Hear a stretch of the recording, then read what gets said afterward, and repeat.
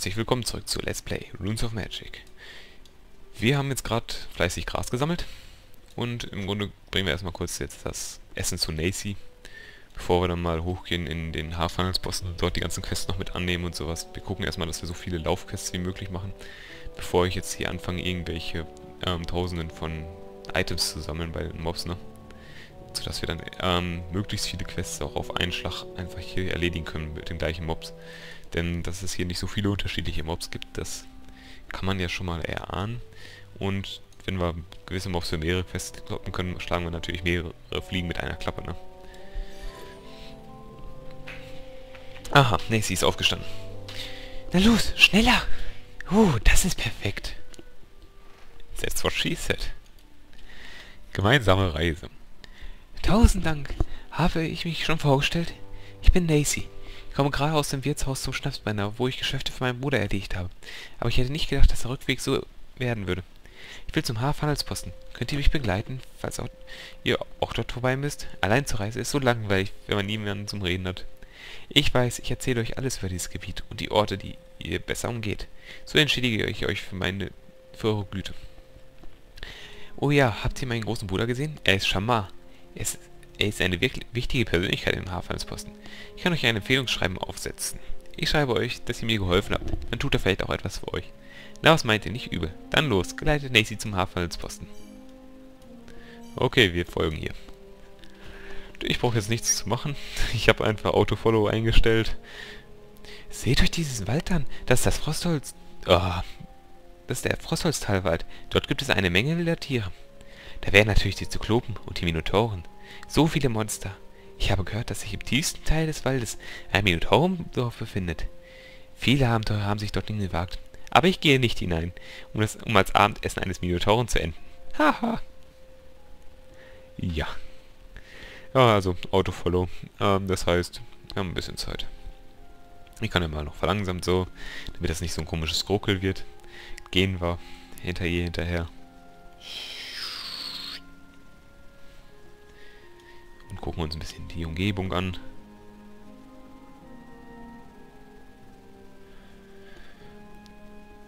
Hieraus könnte man zwar schon einen schönen Screenshot machen.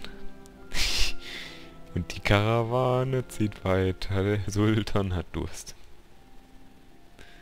Lalala. Aber ich kann halt leider nicht, auch nicht vorlaufen, ähm, weil das sowieso nicht schneller wäre.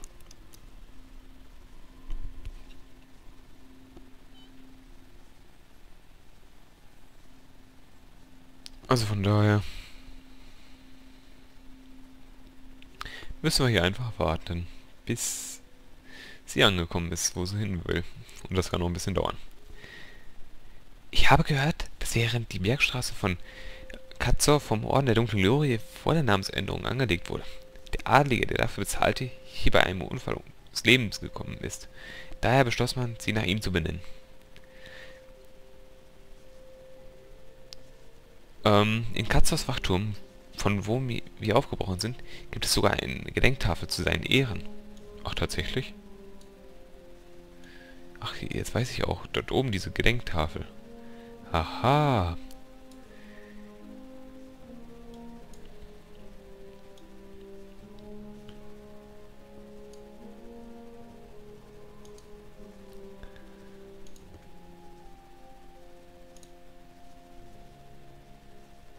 Warum will man einen IFO-O-Ring haben?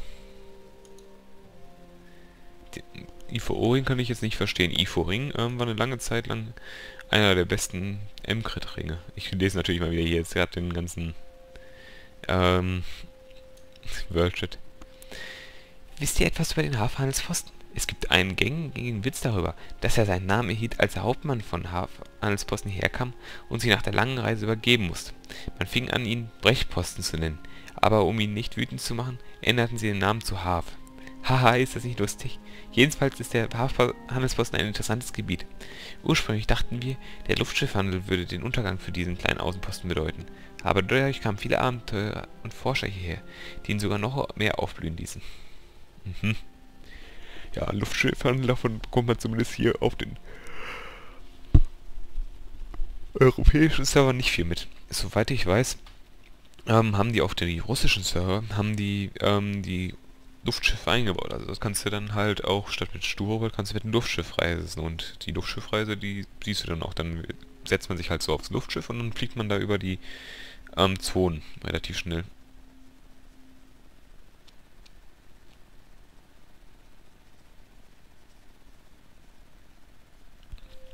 Seht ihr sie? Die weiße Klippe. Der Hafenhandelsposten ähm, liegt am Fuß der Klippe. Ich habe gehört, dass die Klippe vollständig mit Schnee bedeckt ist, weswegen man sie das Schneemeer nennt. Auf der Spitze befindet sich ein Riesenskelett und in ihren Tiefen gibt es Feen und Königinnen aus Eis und Schnee. Ich habe dort einmal einige Vorräte abgeliefert, aber es ist wirklich kein Ort für Menschen.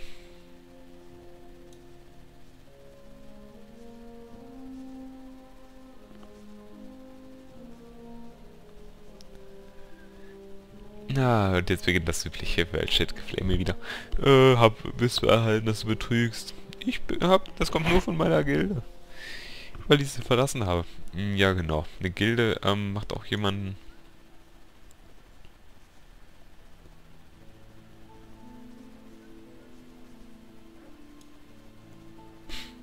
Ja, genau. Ich gehe doch nicht, ähm...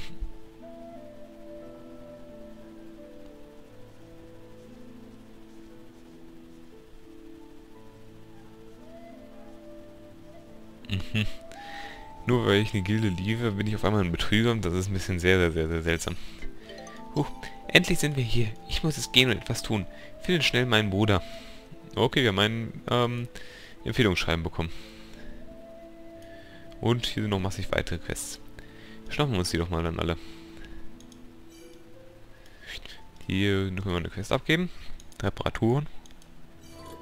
Ich glaube, wir haben schon, werden nur schon bald durch die ganzen Materialien für die Reparatur. Nur die ganzen Laufquests werden wir hier schon fast Stufe 32. Bin ich mal gespannt. Gucken wir nochmal kurz ins Postfach. Nein, seit gestern ist nichts dazu gekommen. Hätte mich auch gewundert. Gemeinsame Reise. Der gibt uns erst im nächsten Level eine Quest. Let it snow, let it snow, let it snow. Katze, Rentier.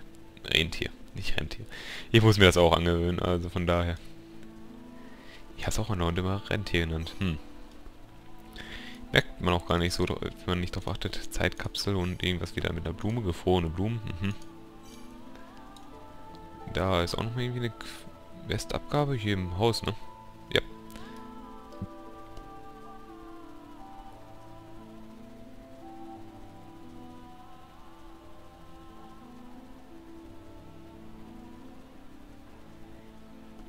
So, da drin. Kellnerin zum Wirtshaus zum Hirsch, Hirschkopf. Antwort an Sadera.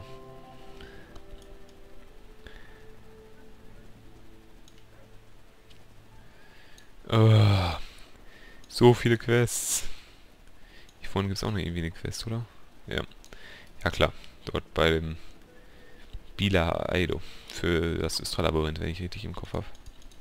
Ich gehe mal kurz gucken, ob das wirklich die Östra-Labyrinth-Quests sind. Wenn ja, dann lasse ich die... Ja, unterirdische antike ähm, Stadt. Die lasse ich erstmal offen, die Östra-Labyrinth-Quests. Aber davor können wir noch eine Quest abgeben. Weil das Östra-Labyrinth jetzt hier nichts mit den Östra-Hochland zu tun hat, ne? So, hier vorne, da. Oben versteckt ist ein Schatten, ne? Ja. Der Schatten im Haus. Ist das da? Was ist gefrorene Büsche? Mhm. Oh, ja, hier ist ja der Schatten. Schatten. Begraben. Okay, ist zurückgehen. Für zwei Quests sind wir noch unten. Ach du Scheiße, das ist ein rumgelaufen. Aber es gibt ja gute Erfahrung, immerhin. Ja, aber jetzt gerade gehen wir erstmal hier. Dann einmal ein paar gefrorene Büsche äh, Büsche untersuchen, ne? Für die gefrorenen Blumen. Ich meine, da können auch Mobs rauskommen. Ich weiß es aber gar nicht mehr sicher.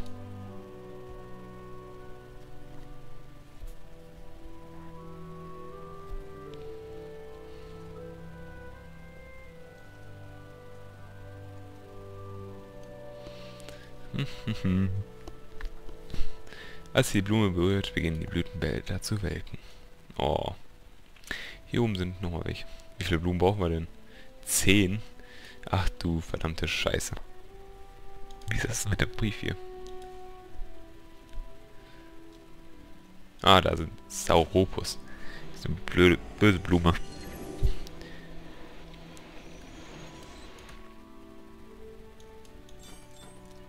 Wenn ihr die Blume berührt, springt aus der Knospe ein legendärer Hütergeist hervor. Ja genau, ein legendärer Hütergeist. Aber... Warum habe ich denn jetzt hier oben das... Moment mal. Heps. Heps. Heps. Heps. So, jetzt habe ich dieses komische Fraps ähm, Aufnahmelogo wieder weg. Ähm, also die FPS-Zahl. Ich weiß nicht, wie sich da reingestichen hat. Zumindest kann, konnte ich sie sehen und ich wollte die halt nicht sehen. Ach ja, genau, die Europus verlieren dann die Blütenblätter. So war das. Also es ist gut, wenn die Mobs erscheinen. 14 FPS, naja. Das ist aber enorm keine Seltenheit. Also man man merkt es auch nicht wirklich, dass, also außer vielleicht zwischen immer ein paar Einbrüche merkt man eigentlich weniger, dass man, nur mit wenig FPS spielt. Finde ich zumindest bei ROM. Aber es ist aber auch ziemlich schwer in ROM einen flüssige FPS hinzukriegen. Da braucht man schon eine perfekte PC-Spielkonfiguration. Ähm, ich weiß nicht, woher das kommt, aber es ist einfach irgendwie so ganz seltsam bei ROM. Also dort gibt es nur wenig Grafikkarten, die auch wirklich perfekte FPS abliefern und sowas. Und selbst dann ist es manchmal noch eine Glückssache. Fragt mich nicht, warum das alles so ist, wie es ist.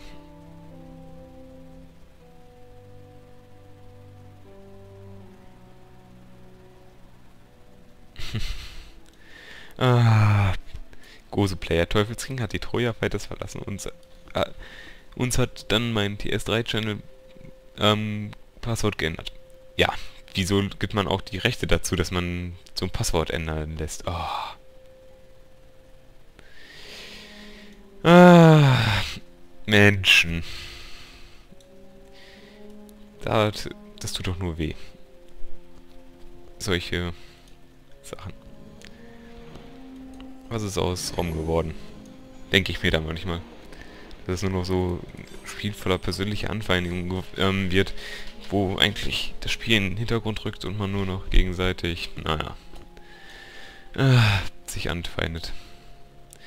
Das ist in den letzten Jahren schon ein bisschen mehr geworden.